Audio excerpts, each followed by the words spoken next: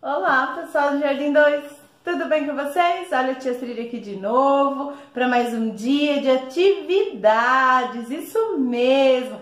Quero agradecer às mamães, aos papais que sempre estão participando junto, né? Agradecer a parceria de vocês, tá certo? Continuem assim, ó, estão de parabéns, vocês e os filhos.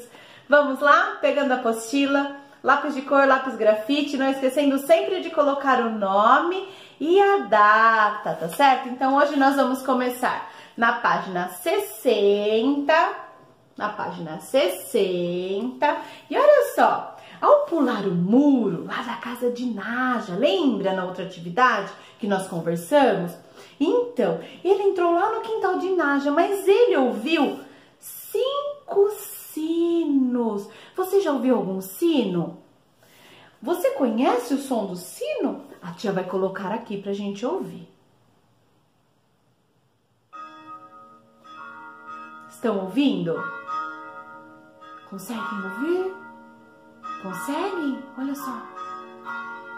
Esse som é do sino badalando, isso mesmo. Foi esse som que ela ouviu quando ele pulou lá no quintal da Naja.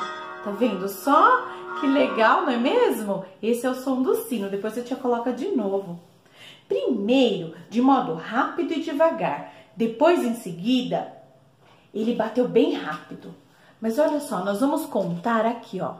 Um, dois, três, quatro, cinco. Cinco sinos, isso mesmo. E olha só, nós vamos cobrir o pontilhado. Mas primeiro a gente treina com o dedinho, não é mesmo? A gente treina com o dedinho. A tia vai colocar mais um pouquinho do som, ó. Esse é o som do sino badalando. Isso mesmo. Não é legal? Olha só, próxima atividade é na página 61, 6 e 1. Ao entrar no quintal de Naja, Miro viu cinco copos sobre a mesa. Cinco copos. Ele se perguntou: por que a vizinha deixou aqueles copos sobre a mesa? Será que ela sentia tanta sede assim? Hum, então vamos lá. Aqui pede pra gente pintar de azul. Olha só, os cinco copos sobre a mesa. Facinho, não é mesmo? Vamos virar a próxima na página 62, o 6 e o 2. Vamos lá?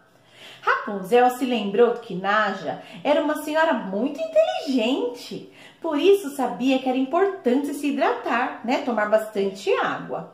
Um belo dia, depois de caminharem sob o sol bem quente, elas encontraram sobre a mesa dois grupos de garrafas com água. Em qual grupo há mais garrafas? Vamos ver? Nós vamos comparar as quantidades e fazer um grupo, um X no grupo com mais garrafas e circular o grupo com menos garrafas. Vamos contar? Olha só, a tia já fez aqui, ó. Vamos contar esse daqui, ó.